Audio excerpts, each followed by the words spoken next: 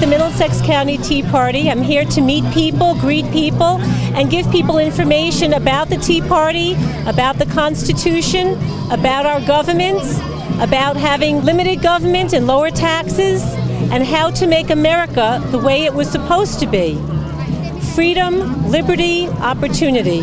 I'm a parent of two children. I want them to have opportunity for the future, and I'd like to see America not continue on its decline. I'd like to see the economy get moving.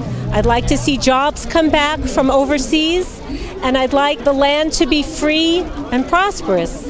We had our founding fathers create a document that was inspired by God. And if we follow that document, chances are we are going to have freedom and prosperity.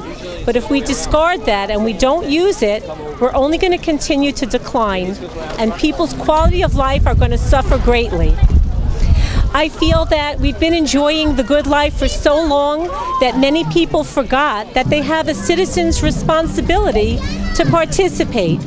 One little thing that you can do make a phone call, talk to a neighbor, come out and join a tea party, join your local club, your political club, and find out what your candidates stand for and see if it's consistent with your values. You don't have to stay in the same party you always have. You can go to factcheck.org, find out what's really out there, and just remember that whoever controls the media controls the message.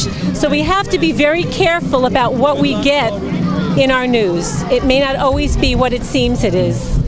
Um, we have a constitution, it's a great document, it hasn't been used enough in the past 20 to 30 years, and that's why the country is going off, uh, off kilter.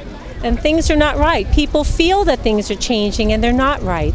We're moving more towards a, a, a European socialist state, and that's just not what America is supposed to be.